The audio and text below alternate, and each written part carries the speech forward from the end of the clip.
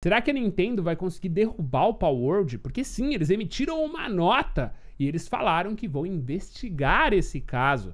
É o fim do Power Word? Você já pegou todos os pau? Então corre pra pegar, porque será que a Nintendo vai derrubar? Como todo mundo na internet hoje é advogado, eu também vim dar meus dois centavos, tirei minha OAB aqui direto pelo Google e vamos conversar um pouquinho sobre esse caso. Mas sério, dei uma estudada mesmo, pesquisei o que pode acontecer com essas coisas. A gente vai conversar hoje um pouquinho enquanto vocês estão vendo essa gameplay linda de Power Word aí ao fundo, antes que é, eu também seja processado, os ninjas da Nintendo entrem na minha casa e falem, não joga mais esse jogo. E aí eu vou ter que parar de jogar, né? E você também, já vai se preparando.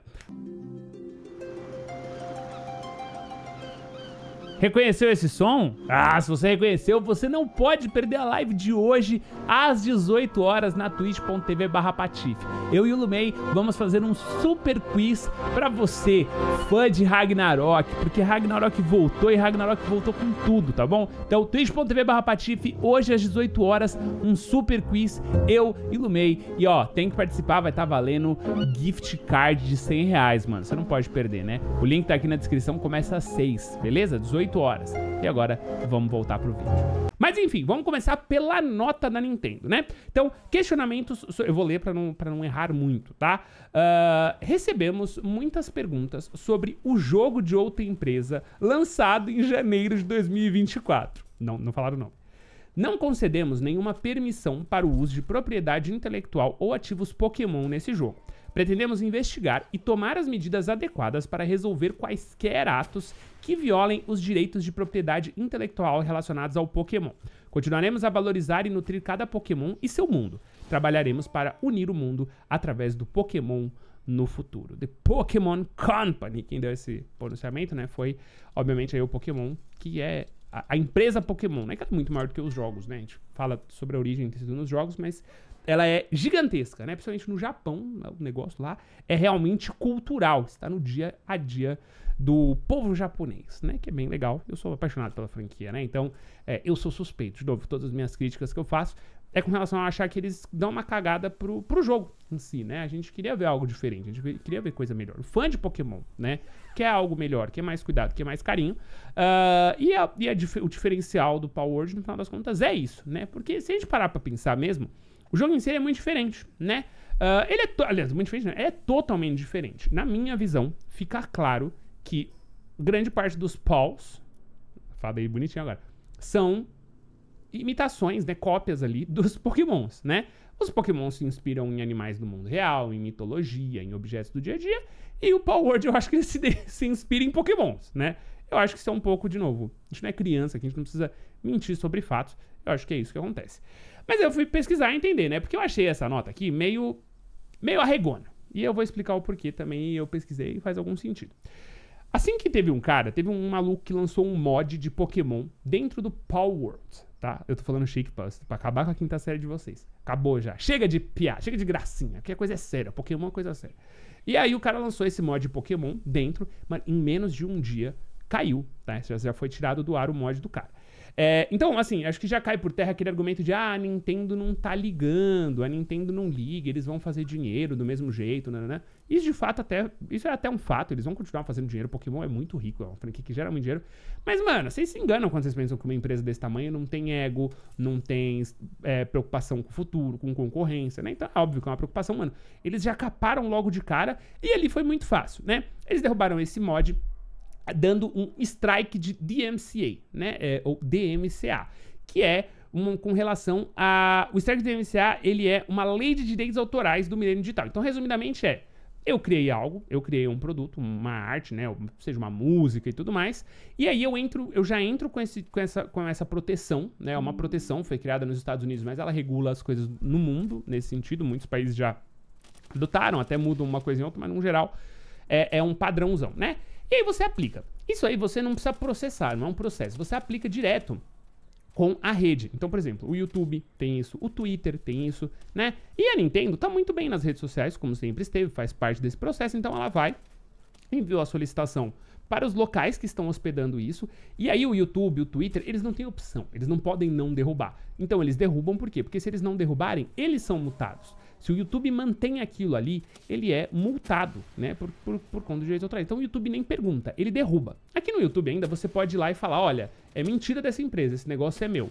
Se você faz isso, o YouTube te manda um alerta falando assim: ó, beleza, você que sabe, mas a gente lava as nossas mãos, você vai assinar um termo, e se por acaso isso virar um processo, você vai responder sozinho na corte de, da Califórnia, não sei o quê, porque já tem também a ver onde o YouTube tá. Então, é, joga sua responsabilidade. Não, é meu, eu, eu fiz isso já uma vez. Eu falei, esse aqui é meu, esse conteúdo aqui é meu e tá tudo bem. E os caras só. E aí a outra empresa foi lá e arregou. Então, as empresas muitas vezes se abusam desse sistema, né? Por que, de novo? Porque ele não, é, não chega a ser judicial. Ele pode vir a ser judicial, ele pode virar um processo, mas a princípio ele não é. Ele já é uma medida que, que acontece antes disso aí ir pra justiça, certo? Então eles foram lá e deram um DMCA no cara que fez o mod. Qual que é a diferença para o Palworld, né? Apesar da semelhança óbvia entre os paus e os, os pokémons, é, eles teriam que abrir um processo judicial contra a empresa. Nesse processo judicial, eles teriam que justificar o porquê que eles acreditam que aqueles assets, né, que aquilo ali foi realmente ripado, copiado deles, né? Então aí vocês podem imaginar, e assim, a, a, gente às vezes, né, na nossa leiguice, muitas vezes, ah, isso aí, mas aí com certeza eles ganhariam, com certeza eles perderiam, mas cara, sempre que é aberto um processo, ambas as chances têm, tem, ambas as partes têm chance de ganhar, né? Então entraria num processo, Nintendo teria que falar, ó, a gente tem aqui, tem esse, esse, esse, o Tanzi, que é aquele macaquinho verde, ah, o Tanzi é roubado do nosso macaquinho verde. Aí o juiz vai falar, um juiz, né, que não necessariamente conhece, vai falar, então pera, vocês têm um macaquinho verde igual, sim, mas o que que ele é igual? Ah, o cabelinho dele, não sei o que, né, o formatinho dele e tal. Entendi, mas o que que esse macaquinho vai? Ah, o macaquinho solta magia, e o deles? Não, o macaquinho deles puxa o macaco 47. Né? Então é muito difícil. Quando, quando é realmente uma cópia ali, se fosse tipo um jogo de batalha por turnos, e, mano, beleza, fica, mas eles vão ter que pegar aquilo, eles vão ter que provar que foi um roubo de arte, né? Sendo que o outro lado, né, vai ter defesa, vai falar, não, pô, o, o, o, o, pescocinho do nosso macaquinho é diferente do pescocinho do macaquinho deles, né? E, e, mano, e por aí, ah, não, nosso macaquinho não faz isso. Mano, então, isso ia ser uma briga chata pra caramba. Não sei o que aconteceria, talvez algum advogado aí possa explicar pra gente como que seria esse processo, principalmente porque a gente está falando de duas empresas que estão no Japão, né? Então, eu não sei juridicamente como que seria esse processo lá no Japão que aconteceria, mas lembrando que, mano, foi para um processo, tem chance de dar para um lado, tem chance de dar para o outro, é um jogo que está sendo muito popular, a gente não sabe exatamente o que poderia entrar em julgamento. Os jogos são completamente diferentes, as mecânicas que tem no Power World não são mecânicas que a gente tem no Pokémon. É, esse processo seria, ah, então o direito autoral é do Pokémon. Então não seria tipo a Nintendo falar, ah, não, mas tem a musiquinha que lembra a musiquinha do Zelda. E aí tem o cara. Então não vai juntar todo mundo e falar, não, vai ser tipo alguma empresa falar, não, isso aqui é roubado da gente. Não sei o que aconteceria depois disso, caso a vitória fosse para Nintendo. Se esse jogo cairia, se eles teriam que reembolsar o dinheiro das pessoas, se eles teriam que tirar tudo do ar. Uh, mas uma coisa eu sei: que por menor que seja a chance, se a Nintendo perde esse processo, eles estão lascadíssimos. Imagina o precedente que a gente teria depois disso. Imagina se a Nintendo processa uma empresa porque fala que copiou seus pokémons e aí eles perdem esse processo. De novo, eles vão aceitar, tem recursos, não sei o que, de novo. Eu não sei como funciona a justiça no Japão. Mas, cara, isso seria um negócio de uma dimensão tão grande e depois para você controlar. E para você e para Nintendo depois controlar se uma empresa russa fizer a mesma coisa, se uma empresa brasileira fizer a mesma coisa. Se, você entendeu? Tipo, pegar ali, mano, basear no Pokémon, desenhar por cima tal e fazer um jogo completamente diferente, tá ligado? Difícil, né? Porque hoje a Nintendo sobe, né, em cima da sua confiança do DMCA, é óbvio, é, é, o jeito certo, e fala, não, isso aqui não pode, isso aqui não pode, isso aqui não pode. Mas e se, e se na hora que eles tentassem comprovar, alguém virasse e falasse, não, não, não tá assim tão ruim não, acho que pode seguir. O buraco seria muito embaixo, seria muito louco. e eu acho que a gente teria muitos jogos incríveis depois disso, né? Enfim, quero saber a opinião. E detalhe, né? Eu também pesquisei aqui poderia também ser resolvido de maneira amigável, né? Então eles poderiam, por exemplo, ir atrás da Steam e né, falar, pô, isso aqui é nosso, olha que zoado, né? Aí a Steam ia falar, abre um ticket com o nosso suporte e nunca mais ia responder, né? A Valve.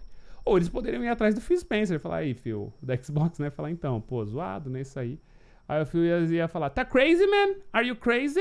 Are you crazy? Fica ligeiro, senão eu te compro. Olha que loucura, né? Então, A Nintendo, por incrível que pareça, tá, tá num cenário difícil ali. A gente não sabe o que eles vão decidir. Uh, eles têm, obviamente, um jurídico gigantesco e muito forte e que não vai colocar eles numa situação ruim. Eu acho que, inclusive, se a gente vê realmente um processo sendo aberto pela Nintendo, é porque eles têm, tipo, 99% de certeza que eles vão ganhar. Porque uma derrota aí ia ser uma loucura. Ia ser uma loucura, né? Mas e aí, o que vocês acham? Vocês acham que a Nintendo vai derrubar o Power Word? Eu acho que não. Eu acho que agora eles vão pagar para ver mesmo. Vamos ver até onde vai. Eu acho que o Power apesar né, de tudo, ele não oferece nenhum risco para a franquia Pokémon. O fã de Pokémon não vai abrir mão do Pokémon, né? O fã de. O, o, o impacto é, cultural que Pokémon tem no Japão ainda é incomparável, né? Então você, eles já inserem o Pokémon na vida da criança desde que ela nasce, irmão. É uma loucura, nasce, né? O, o, a gente tem, depois se quiser, dá uma olhadinha nos conteúdos do, do, do Panetone. O Panetone foi pro Japão recentemente, ele é super fã de Pokémon também. Ele ficou chocadíssimo, assim, né? Existe todo um processo. A criança de tantos anos já tá lá jogando Pokémon. Envelheceu, já é introduzida ao card game. Então, assim, existe ali um cenário, né? Muito forte. A gente tem isso também, né? Tem várias mídias hoje que o Pokémon é muito forte e muito presente.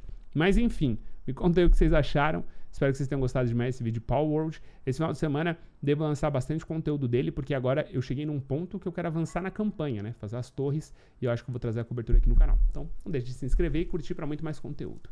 É isso. Tamo junto. Vamos pegar uns pau. É nóis. Até a próxima. Valeu e tchau.